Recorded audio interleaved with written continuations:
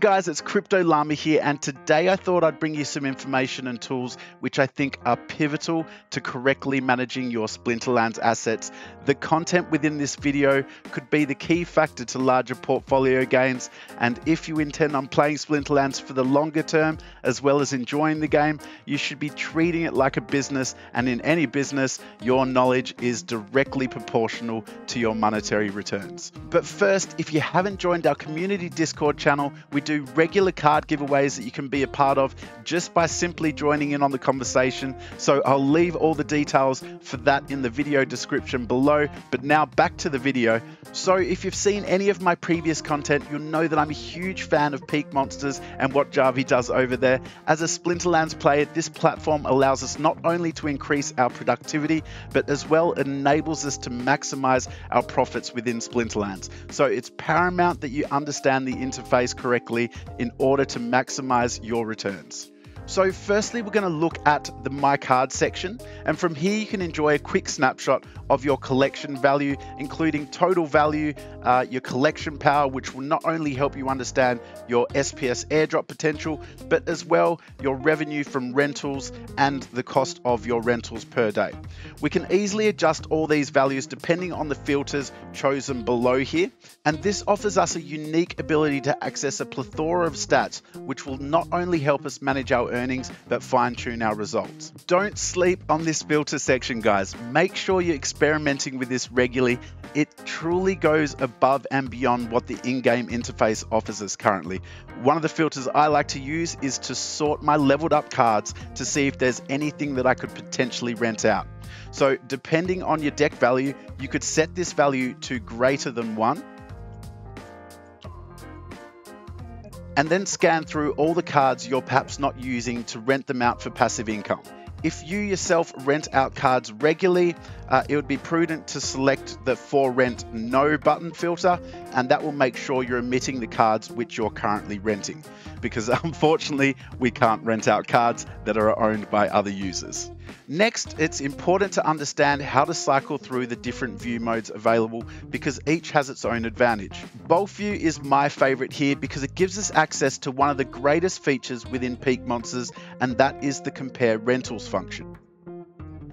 In this area, you'll be able to work out quickly if you're paying too much for your rentals. It will show you if there are other rentals available at a cheaper cost in a percentage form. So we can see here that there are a few cards which I'm currently paying over the market price for to rent. We can simply select these cards and enjoy the savings right away. Alternatively, it will also show if we're paying under the current market price. It's good practice to come in here frequently if you're a long-term renter to make sure you're getting the best value possible.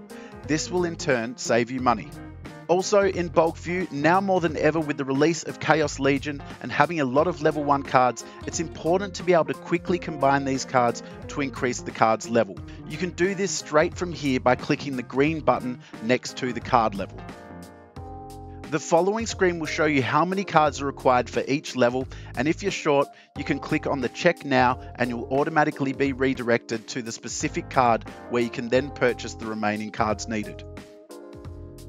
Now, renting cards is also a breeze in bulk view. We can easily queue up a bunch of cards to be rented. Uh, for example, if you're maybe going on a holiday or you have a specific splinter that you aren't using and you want to rent those cards out specifically, you can set your filters easily. Let's say I want to rent out my entire dragon deck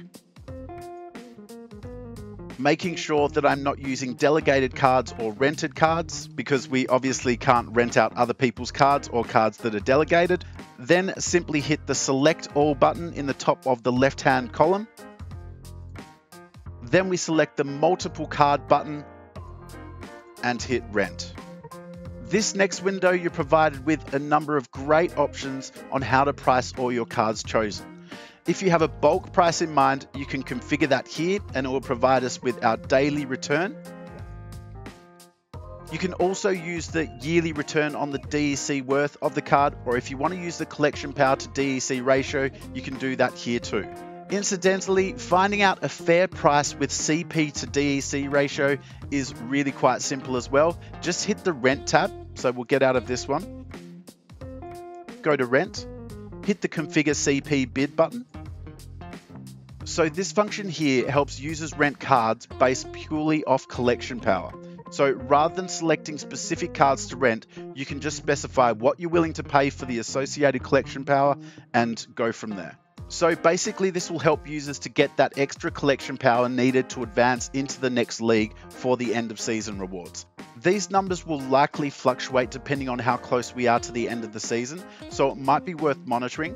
But if we look on the right hand side column here, we can see previous bids that have gone through for collection power to DEC ratio. The left hand column shows the active bids from other users. So here we can see that recently someone has paid 350 collection power to DEC, which means if we go back into our proposed rentals, we could put that number in there and be sure we'd get an interested bidder. So let's do that now. So we can also get a snapshot of this at the bottom of the renting card window.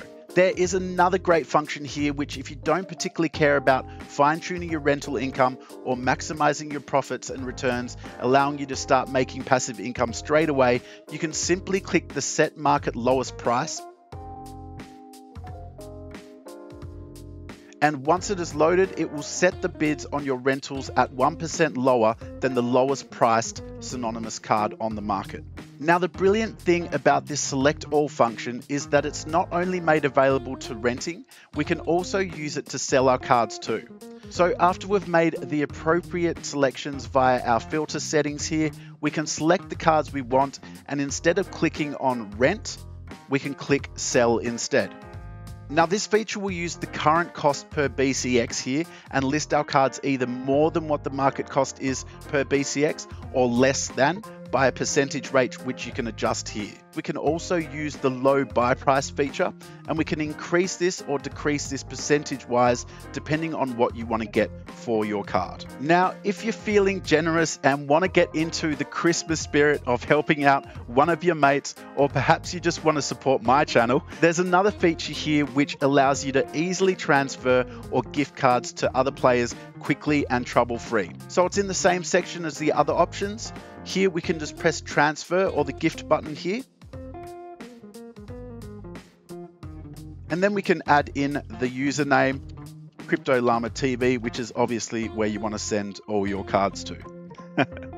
There are another few options here which I'd like to highlight to you. Uh, so we can make all our selections on the filter window and then we can go back up to the multiple card selection screen and click others. Then we can easily delegate these cards to let's say an alt account if we need that extra bit of power or you have a friend who needs some extra power, we can do that with multiple cards as well. Now, one of the most important features and the feature that if you take anything away from this video, I hope you will use is the lock function.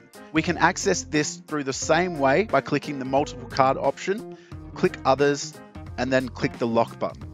Within this day and age of decentralized currency, cybercrime is more rife than ever before, and one of the features that can help you curb this is by locking your cards. For example, if you have a core deck which you use consistently and you know you're not going to be selling anytime soon, then there's no reason why you shouldn't be locking your deck. The only two functions that you can't perform while a card is locked is selling or transfer. You can still delegate, rent, and use the lock cards in battle without any issues. So this feature essentially just adds an extra layer of security of your assets, which just means that if a vile or malicious individual manages to get hold of your account information, they can't just transfer all of your assets away from you. This could seriously help you avoid a potential disaster down the track, so make sure you lock your assets, guys. You can choose a period to which you would like to lock these assets below here, and maybe just make a habit of doing two weeks or monthly locks on your cards after a season resets or something like that, just to secure these assets of yours. The last feature I want to talk about is the bidding of cards. I still get quite a lot of questions from people not understanding how this feature operates, which will arguably save you the most amount of money in the long term. Since this feature has been implemented, I for one have never once used the standard interface to rent cards anymore, and it's quite simple to get your head around. Just like with the CP bid feature, you can click on the card that you want to put a bid on, The left hand side provides us with the current bids from other users, whilst the right hand side shows us the bids that have been fulfilled for those cards. This information alone will allow you to work out fair pricing of the cards you require. From here, you can determine whether you prefer to be patient and wait for your bid to be fulfilled, or you can simply beat the highest current bid to get the card more quickly. So here I could put in 11 DEC, which is over the current bid price, and then I would hit confirm. If you have the highest bid, by the way, your bid will be fulfilled even if something cheaper becomes available on the market because you currently have that higher bid. And that's it for me for now, guys. If you enjoyed my content, please hit the like and subscribe button as that would mean the world to me. Be safe and have a blessed Christmas break with your families. But other than that, I will see you on the blockchain.